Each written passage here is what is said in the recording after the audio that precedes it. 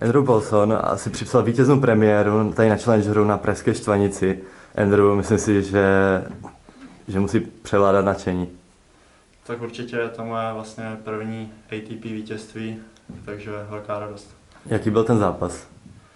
Tak zápas, to byl pro mě náročný, hlavně myslím, že eh, z psychické stránky, už jenom, že to byl můj první zápas a chtěl jsem ho vyhrát, takže občas to bylo nahoru dolů, ale nakonec jsem to zvládnul a, a bylo to dost vyrovnané. A byl tam docela do hodně diváků. Jak tě tohle ovlivnilo? Uvítal jsi to?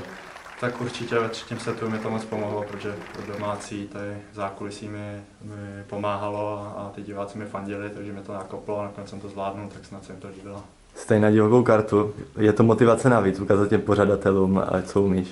Určitě, byl jsem, dostal jsem šance od Českého tenisového svazu, takže jsem rád, že jsem ji takhle využil a, a nesklamal a, a určitě jsem za to moc rád. A Zmínil si ten tenisový svaz, tady pořádal během té pandemie spoustu akcí.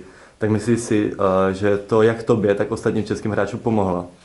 Určitě, protože jsme byli dost vyhraní, vlastně tady kluci z Česka všichni máme doslovní úroveň, takže si myslím, že když jsme hráli mezi sebou, tak vlastně ty turnaje byly na vysoké úrovni a teďka, když jsme eh, vlastně začali hrát už ty normální turnaje, jak měly být, tak si myslím, že jsme připravení a taky jsme to tady podle mě potvrdili, protože jsme skoro všichni prošli prvním kolem. Je to velká úleva už konečně o něco hrát. A, tak určitě to je úleva, je to mnohem lepší, ale já jsem zase nějak nepropadal panice v té koronavirové pauze, protože jsem trénoval, pracoval jsem na tom, co jsem nemohl a tady ty turné, co byly u nás, mi taky dost bavily, takže já nemůžu úplně říct, že bych teďka najednou začal zase žít. Když jsem pár týdnů zpátky mluvil s Lukášem Roslem, tak říkal, že spolu trénujete, tak pořád to trvá. Občas spolu trénujeme, ale není to nic, že bychom hráli jenom spolu nebo něco takového. A posouvá tě i tento faktor, že hraje se zkušeným hráčem. Tak určitě on má mnoho zkušeností, byl eh, vysoko na žebříčku, má skalpy jedny z nejlepších hráčů u nás, takže eh, na světě, takže když mi něco poradí nebo může pomoct, tak je to jedině dobře, já jsem za to rád. Tohle to je specifický tím, že tu je i Sten Vavrinka, velká osobnost tenisová, tak jak tohle vnímáš?